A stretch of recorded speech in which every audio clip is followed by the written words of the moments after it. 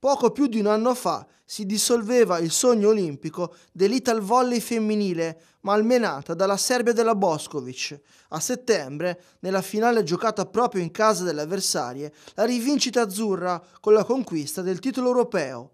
L'unica differenza tra Tokyo e Belgrado era nella regia passata nelle mani di Alessia Orro. Il gruppo è sempre questo, lavoriamo tanto insieme è cambiato solo il fatto che, che giochi titolare e prima no.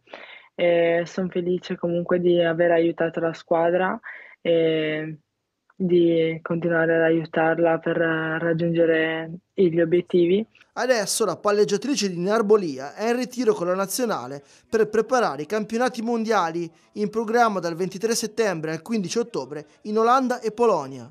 Dopo la vittoria di luglio in Nations League, le aspettative si sono alzate. Le azzurre sono tra le favorite per la vittoria finale. Ci sono molte squadre comunque forti, eh, come gli Stati Uniti, il Brasile, la Cina, eh, la Serbia. Alessia porta sempre con sé la sua Sardegna, anche se la pallavolo nell'isola ha ancora tanta strada da fare. Non c'è una società in Serie A e questo lo sappiamo, non è cambiato nulla in questi anni, le strutture sono alla fine sempre tutte uguali, però comunque a livello di organizzazione eh, vedo un grande impegno, quest'anno ci sarà la Supercoppa maschile a Cagliari, la Sardegna cerca di invogliare ecco, il mondo della pallavolo a essere seguito, a essere praticato.